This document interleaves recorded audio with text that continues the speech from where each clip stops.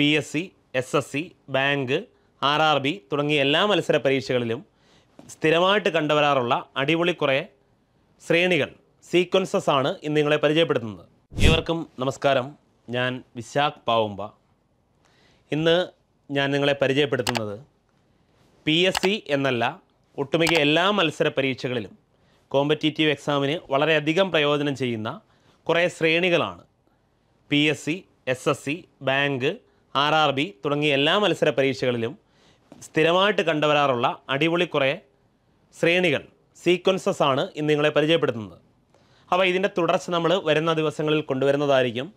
അപ്പോൾ ഇന്നൊരു അഞ്ച് ആറ് ചോദ്യങ്ങൾ മാത്രമേ പരിചയപ്പെടുത്തുന്നുള്ളൂ. അപ്പോൾ അതാ നേരെ ചോദ്യങ്ങളിലോട്ട്. അതിലെ ആദ്യ ചോദ്യം ദാ ഇങ്ങനെയാണ്.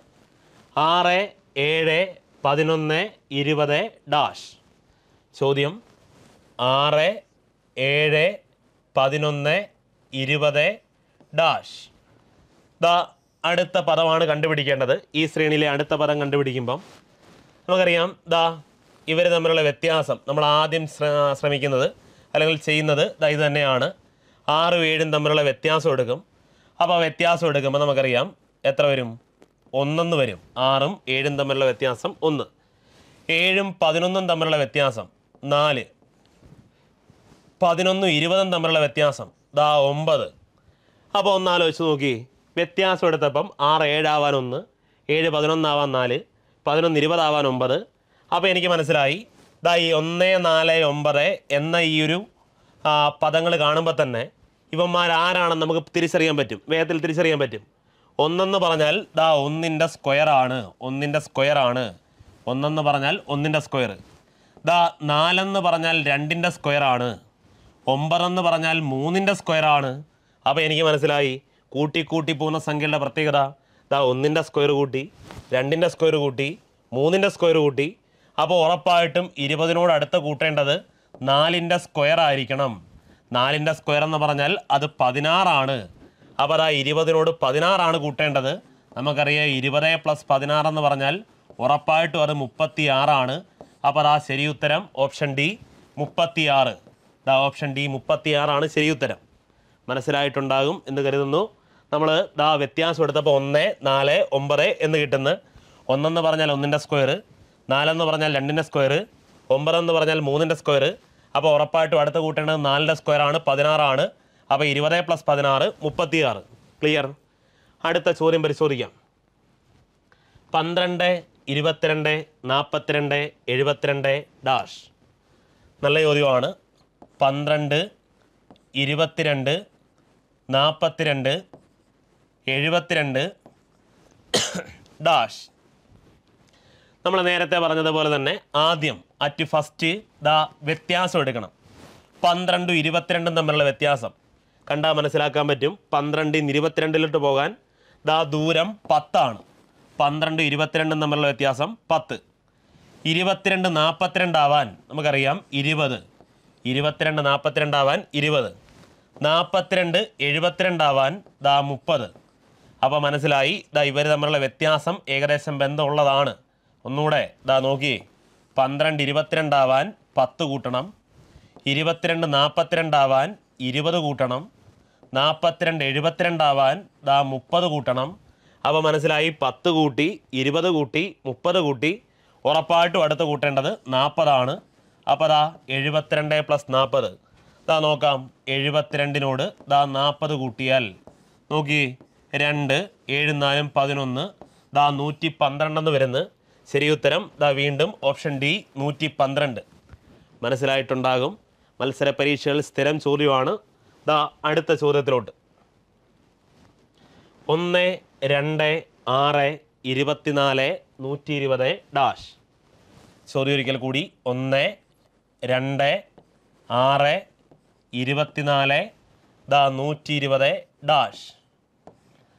അപ്പോൾ അത്യാവശ്യം നല്ല ചോദ്യമാണ്. കണ്ടാൽ മനസ്സിലാ മനസ്സിലാക്കാം. നൂറ്റി ഇരുപതൊക്കെ കാണുമ്പോൾ പെട്ടെന്ന് ചാടിക്കേറിയിട്ട് ഒരു ക്യൂബാണ് എന്നൊരു തോന്നലൊക്കെ വരും. പക്ഷേ അത്രത്തോളം അങ്ങോട്ട് കടന്നു കയറണ്ട. ഇതൊരു ക്യൂബല്ല.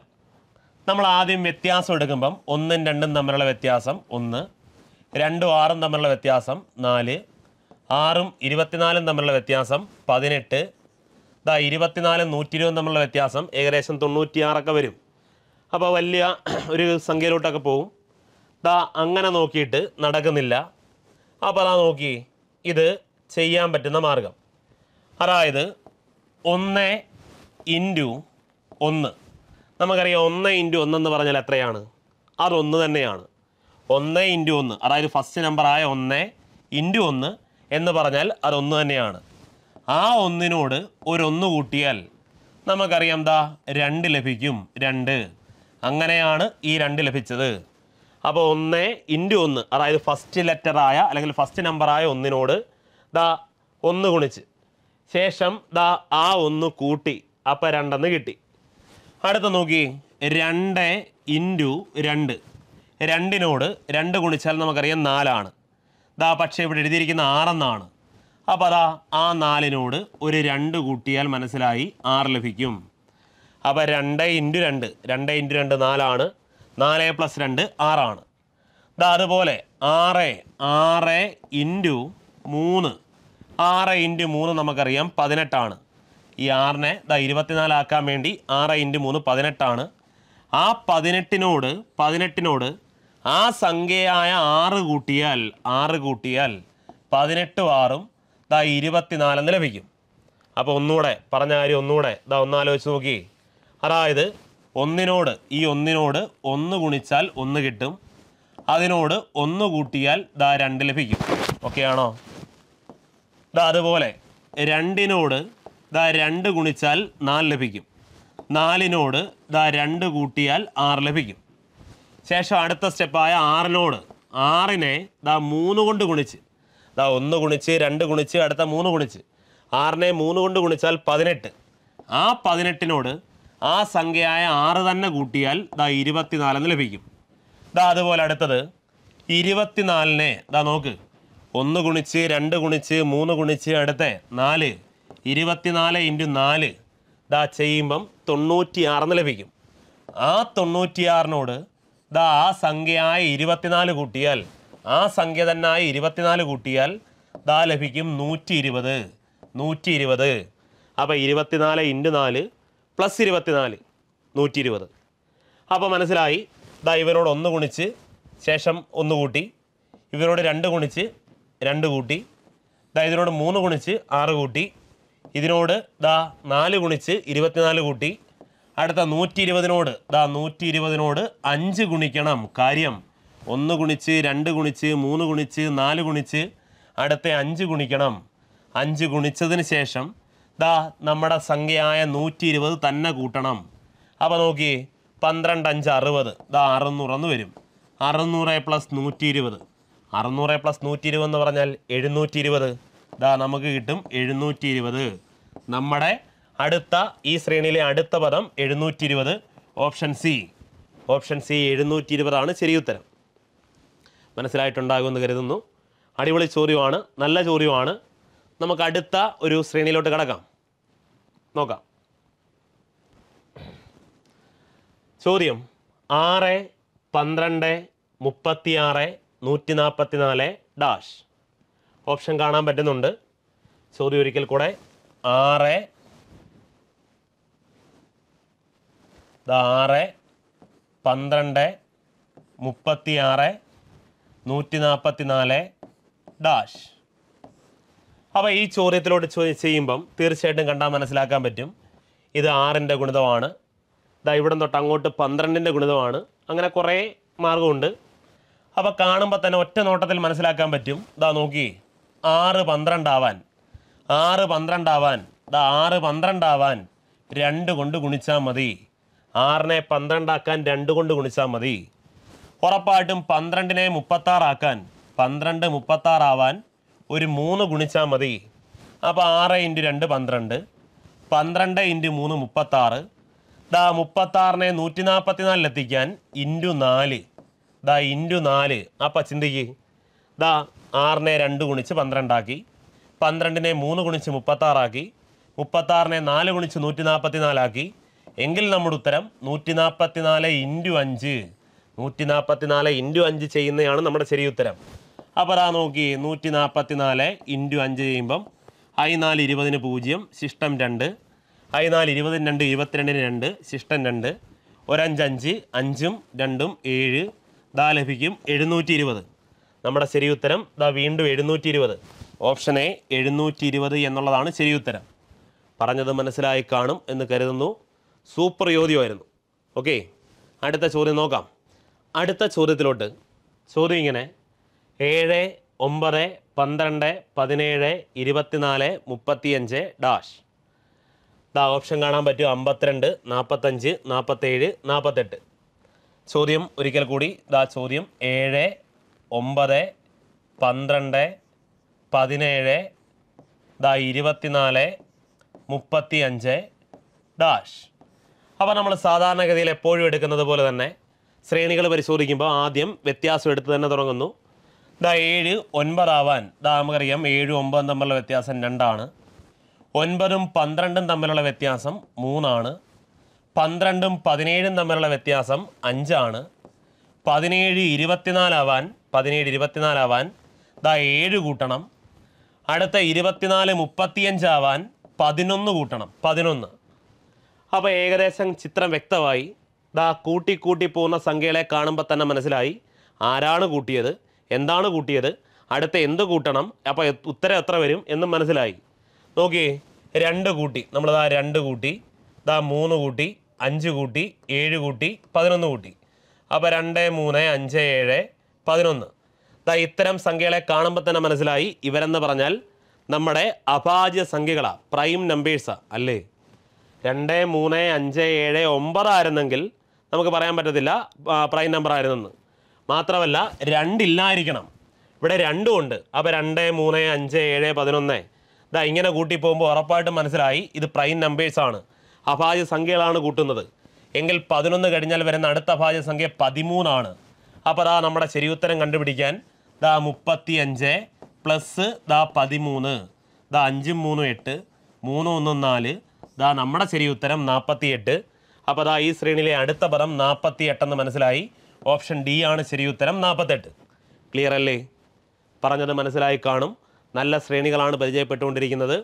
അപ്പോൾ ഇതെല്ലാം പല പല പരീക്ഷകൾക്കായിട്ട് പി എസ് സി പലതവണ ചോദിച്ചതാണ്. പി എസ് സി പരീക്ഷകൾ മാത്രമല്ല ഞാൻ പറഞ്ഞല്ലോ. എല്ലാ കോമ്പറ്റീറ്റീവ് എക്സാമിനും തീർച്ചയായിട്ടും ഒരു മാർക്ക് ഉറപ്പിക്കാൻ പറ്റുന്ന ഒരു മേഖല തന്നെയാണ് ശ്രേണികൾ അപ്പോൾ ശ്രേണികളുടെ ദാ തുടർച്ച ഒരു ചോദ്യം കൂടി. ചോദ്യം നല്ലതാണ് നല്ലൊരു ചോദ്യമാണ്. മുപ്പത്തിയാറ് നാൽപ്പത്തി ഒമ്പത് അമ്പത്തിയൊന്ന് മുപ്പത്തിയൊമ്പത് അമ്പത്തി മൂന്ന് അമ്പത്തിനാല് നാൽപ്പത്തിരണ്ട് അമ്പത്തേഴ് അമ്പത്തേഴ് നാൽപ്പത്തഞ്ച് ഡാഷ് ഡാഷ്. അത്യാവശ്യം നല്ല ലെങ്തി ചോദ്യമാണ്. അപ്പോൾ ഈ ചോദ്യം ഇതായത് ചോദിച്ചിട്ടുള്ളതാണ്. ചോദിച്ചപ്പോൾ കുറച്ച് പേരൊക്കെ ആൻസർ ചെയ്ത് കുറച്ച് പേര് കുറേ നേരം ഇതിനകത്തിൽ സമയം കളഞ്ഞതിന് ശേഷം സ്കിപ്പ് ചെയ്ത് പോവുകയാണ് ഉണ്ടായത്. അപ്പോൾ നമ്മൾ കുറേ സമയം കളഞ്ഞിട്ട് പിന്നെ സ്കിപ്പ് ചെയ്യുന്നതെന്ന് പറഞ്ഞാൽ വളരെ വലിയ മണ്ടത്തരമാണ്. അപ്പോൾ എങ്ങനെ ഉത്തരം ചെയ്യാൻ നോക്കുമ്പം താ അത്യാവശ്യം ഇത്രയും വലിയ സംഖ്യകളൊക്കെ തരുമ്പം ഉറപ്പായിട്ടും മനസ്സിലാക്കിക്കൂ ഇത് ഒന്നുകിൽ ഏറ്റവും മിനിമം രണ്ട് ശ്രേണികളെങ്കിലും ഇതിനകത്തിൽ ഉണ്ടായിരിക്കും. ഇതിനകത്തിൽ ഏറ്റവും ചുരുങ്ങിയത് രണ്ട് ശ്രേണികളെങ്കിലും ഉണ്ടായിരിക്കും. രണ്ടോ അല്ലെങ്കിൽ അതിലധികമോ ശ്രേണികളെ കാണാൻ കഴിയും. അപ്പോൾ നോക്കി ഇതാ രണ്ട് ഡാഷ് കണ്ടുപിടിക്കാൻ പറഞ്ഞിട്ടുമുണ്ട്. നമുക്ക് രണ്ട് ഡാഷാണ് കണ്ടുപിടിക്കേണ്ടത്. അപ്പോൾ രണ്ട് ഡാഷ് കണ്ടുപിടിക്കുമ്പോൾ ഉറപ്പായിട്ടും രണ്ട് സംഖ്യകൾ കണ്ടുപിടിക്കണം. അപ്പോൾ രണ്ട് സംഖ്യകളെന്ന് പറഞ്ഞാൽ രണ്ട് ശ്രേണികളിലെ രണ്ട് സംഖ്യകളായിരിക്കും. അപ്പോൾ ഈ കൊടുത്തിരിക്കുന്ന ഒരു പക്ഷേ രണ്ട് ശ്രേണിയായിരിക്കാം. അതല്ലെങ്കിൽ മൂന്ന് ശ്രേണിയായിരിക്കാം. അതല്ലെങ്കിൽ അതിലധികമായിരിക്കാം അപ്പോൾ നമുക്ക് മനസ്സിലാക്കാൻ വേണ്ടി നിങ്ങൾ നോക്കിയേ ദാ ഒരു മുപ്പത്താറ് കിടപ്പുണ്ട് ഇവിടെ. ഇനി മുപ്പത്തിയാറുമായിട്ട് ബന്ധപ്പെട്ട അല്ലെങ്കിൽ മുപ്പത്തി മുപ്പതുമായിട്ട് ബന്ധപ്പെട്ട അതല്ലെങ്കിൽ മുപ്പതിനോടടുത്ത് നാൽപ്പത് നാൽപ്പതിനോടടുത്ത് അങ്ങനെയുള്ള വല്ല പദങ്ങളും ഉണ്ടോ നോക്കി ദാ ഉണ്ട് കാണാൻ പറ്റും. ദാ ഇവിടെ ഒരു മുപ്പത്തൊമ്പത് കാണാൻ പറ്റും. അപ്പോൾ എനിക്ക് മനസ്സിലായി മുപ്പത്താറ് കഴിഞ്ഞ് ഒരു രണ്ട് പദങ്ങൾ ഇടവിട്ട് മുപ്പത്തിയൊമ്പത്. പിന്നെ ഒരു രണ്ട് പദങ്ങൾ ഇടവിട്ട് നാൽപ്പത്തിരണ്ട് പിന്നെ ഒരു രണ്ട് പദങ്ങൾ ഇടവിട്ട് നാൽപ്പത്തിയഞ്ച് അപ്പോൾ ഏകദേശം ഒരു ശ്രേണിയുടെ കാര്യത്തിൽ നമുക്കൊരു തീരുമാനമായി. ഇതാ നോക്കി. മുപ്പത്താറ്. രണ്ട് പദങ്ങൾ ഇടവിട്ട് മുപ്പത്തിയൊമ്പത്. മനസ്സിലായി? ഒരു മൂന്ന് കൂട്ടി മുപ്പത്തിയൊമ്പത്. മുപ്പത്തിയൊമ്പതിനോടും ദാ ഒരു മൂന്ന് കൂട്ടി മുപ്പത്തൊമ്പതിനോട് ഒരു മൂന്ന് കൂട്ടിയാൽ നാൽപ്പത്തിരണ്ട് നാൽപ്പത്തിരണ്ടിനോട് വീണ്ടും ഒരു മൂന്ന് കൂട്ടിയാൽ നാൽപ്പത്തിയഞ്ച് ദാ നാൽപ്പത്തിയഞ്ച് മനസ്സിലായി? ഒരു മൂന്ന് കൂട്ടിയപ്പം നാൽപ്പത്തിയഞ്ച് അപ്പോൾ നാൽപ്പത്തഞ്ചിനോട് എന്താ ഒരു മൂന്ന് കൂട്ടിയാൽ അടുത്ത രണ്ടെണ്ണം ഇടവിട്ട് നാൽപ്പത്തഞ്ച് പ്ലസ് മൂന്ന് നാൽപ്പത്തി എട്ടെന്ന് വരും. പക്ഷേ നമുക്ക് ആ നാൽപ്പത്തെട്ടിന്റെ ആവശ്യമില്ല. നാൽപ്പത്തെട്ട് കണ്ടുപിടിക്കണ്ട. കാര്യം ദാ ഇവിടുത്തെ ഒരു പദോടെ കണ്ടുപിടിക്കാൻ അവർ പറഞ്ഞിട്ടില്ല. അതുകൊണ്ട് അത് കണ്ടുപിടിക്കേണ്ട ആവശ്യമില്ല. പിന്നെ അപ്പോൾ അടുത്ത ശ്രേണിയാണ് നമുക്ക് നോക്കേണ്ടത്. അടുത്ത രണ്ട് പദങ്ങളാണ് നമുക്ക് കിട്ടേണ്ടത്. നോക്കി നാൽപ്പത്തൊമ്പത് വന്നിട്ടുണ്ട്. നാൽപ്പത്തൊമ്പത് ദാ നോക്കി നാൽപ്പത്തൊമ്പതിന് ശേഷം വന്നിരിക്കുന്നത്. ദാ എന്താണെന്ന് നോക്കാം. നാൽപ്പത്തൊമ്പത് ഒരു രണ്ടെണ്ണം ഇടവിട്ട് അമ്പത്തി മൂന്ന് അപ്പോൾ മനസ്സിലായി നാൽപ്പത്തി ഒമ്പതിനോട് ഒരു നാല് കൂട്ടിയപ്പോഴാണ് അമ്പത്തി മൂന്ന് കിട്ടുന്നത് അല്ലേ? ശേഷം അമ്പത്തി മൂന്നിനോട് വീണ്ടും ഒരു രണ്ടെണ്ണം ഇടവിട്ട്. ദാ നാല് കൂട്ടിയപ്പം ദാ കിട്ടുന്നു അമ്പത്തിയേഴ്. അപ്പോൾ എനിക്ക് മനസ്സിലായി അത് അടുത്തൊരു ശ്രേണിയാണ് നാൽപ്പത്തൊമ്പത് അമ്പത്തി മൂന്നായതുപോലെ അമ്പത്തി മൂന്ന് വീണ്ടും നാല് കൂട്ടി അമ്പത്തേഴ് ആയതുപോലെ വീണ്ടും രണ്ടെണ്ണം ഇടവിട്ട് അമ്പത്തേഴിനോട് ദാ ഒരു നാല് കൂട്ടിയാൽ നാല് കൂട്ടിയാൽ അമ്പത്തേഴ് പ്ലസ് നാല് അറുപത്തിയൊന്ന്. അപ്പോൾ അതാ നമ്മുടെ ഫസ്റ്റ് ഓപ്ഷൻ അതായത് ആദ്യ സംഖ്യ അറുപത്തിയൊന്നെന്ന് വരും. മനസ്സിലായ കാര്യം ഇങ്ങനെയാണ്. രണ്ട് ഡാഷ് കണ്ടുപിടിക്കേണ്ടതിൽ ആദ്യ ഡാഷ് എന്ന് പറഞ്ഞാൽ അറുപത്തിയൊന്ന്. ആ ഡാഷ് അറുപത്തിയൊന്ന് കിട്ടിയത് എങ്ങനെയാണ് ദാ നാൽപ്പത്തൊമ്പത് അമ്പത്തി മൂന്ന് അമ്പത്തേഴ് എന്ന ശ്രേണി പരിശോധിച്ചപ്പം. അപ്പോൾ അവിടുന്ന് മനസ്സിലായി അത് അറുപത്തിയൊന്നാണ്. ഇനി അത്യാവശ്യം മൂളയുള്ളവർക്കാണെങ്കിൽ ദാ ഓപ്ഷൻ നോക്കി തന്നെ ഉത്തരം എഴുതാൻ പ- കഴിയും. കാരണം അറുപത്തിയൊന്ന് അടുത്ത മറ്റൊരു സംഖ്യ എന്തോ ആയിക്കോട്ടെ? അറുപത്തിയൊന്നിൽ ആരംഭിക്കുന്ന ഒരൊറ്റ ഓപ്ഷനേ ഉള്ളൂ. ഓപ്ഷൻ ഡി ആണ് അറുപത്തിയൊന്ന് അറുപത് അല്ലേ? ആണ്. ഇനി പോട്ടെ. നമുക്ക് ഓപ്ഷൻ നോക്കാൻ കഴിഞ്ഞില്ലെങ്കിൽ തന്നെയും അടുത്തത് കണ്ടുപിടിക്കാം. അടുത്തത് കണ്ടുപിടിക്കുമ്പം ദാ അടുത്തതിലോട്ട് പോകാം എങ്ങനെയാ? നോക്കിയേ. ദാ അൻപത്തി ഒൻപത് എന്ന ഇവിടെ നിന്നും അമ്പത്തിനാലിലോട്ട് എത്തിച്ചേരാൻ ദാ കൂട്ടേണ്ടത് മൂന്നാണ്. അമ്പത്തിനാലിൽ നിന്ന് അമ്പത് സോറി അമ്പത്തൊന്നിൽ നിന്ന് അമ്പത്തിനാലിലെത്താൻ കൂട്ടേണ്ടത് മൂന്ന്. ശേഷം അമ്പത്തിനാലിൽ നിന്ന് വീണ്ടും ദാ ഒരു മൂന്ന് കൂട്ടി അമ്പത്തിയേഴ്. എങ്കിൽ അമ്പത്തേഴിനോടും വീണ്ടും ദാ രണ്ടെണ്ണം ഇടവിട്ട് ദാ ഒരു മൂന്ന് കൂട്ടണം. അപ്പോൾ അമ്പത്തേഴ് പ്ലസ് മൂന്ന് ദാ അറുപതെന്ന് ലഭിക്കും. അമ്പത്തേഴ് പ്ലസ് മൂന്ന് അറുപത്. ദാ നമ്മുടെ ശരി ഉത്തരം അറുപത്തിയൊന്ന് അറുപത്. ദാ ശരി ഉത്തരം അറുപത്തിയൊന്ന് അറുപത് എന്ന ഓപ്ഷനാണ്. അറുപത്തിയൊന്ന് അറുപത്. ദാ ഓപ്ഷൻ ഡി ആണ് ശരി ഉത്തരം. മനസ്സിലായിട്ടുണ്ടാകും എന്ന് കരുതുന്നു. അപ്പം നല്ല കുറേ ശ്രേണികളാണ് നമ്മൾ ഇന്ന് പരിചയപ്പെട്ടത്. പല മത്സര പരീക്ഷകൾക്കും ചോദിക്കുന്നതാണെന്ന് ഞാൻ പറഞ്ഞു. തീർച്ചയായിട്ടും അങ്ങനെ തന്നെയാണ്. വരാനിരിക്കുന്ന ക്ലാസ്സുകളിൽ ഇതേപോലുള്ള ഞുറുങ്ങ് വിദ്യകളുമായിട്ട് വീണ്ടും വരുന്നതായിരിക്കും. അതുവരെ എല്ലാവർക്കും നന്ദി നമസ്കാരം.